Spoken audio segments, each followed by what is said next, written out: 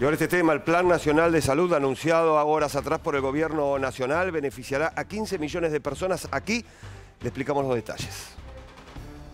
Dentro de la cobertura pública, que hoy se atienden en el hospital, pero este, fragmentariamente, van, se atienden y se van y, y no tienen un seguimiento, no tienen una cobertura de seguimiento. Esas personas se le va a dar un documento nacional de salud para que puedan asistirse en cualquier eh, nodo de la red pública de salud, cualquiera sea la provincia y cualquiera sea el municipio. Eso mejora una serie de problemas que hoy tenemos con estas eh, diferencias. Esta misma persona va a recibir medicamentos, va a tener una cobertura integral que si no la tiene en el hospital público o en el sector público, la va a tener por convenios en el sector privado.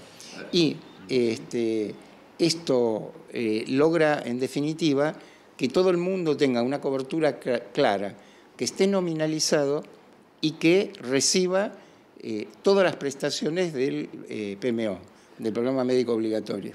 Sí, el paciente eh, va a tener todo un sistema público que comprende médicos de cabecera, servicios especializados, internación, operaciones y la cobertura que eh, viene desde Nación, además de lo que aportan las provincias y los municipios, de medicamentos esenciales, o sea, el listado de medicamentos esenciales de la Organización Mundial de la Salud.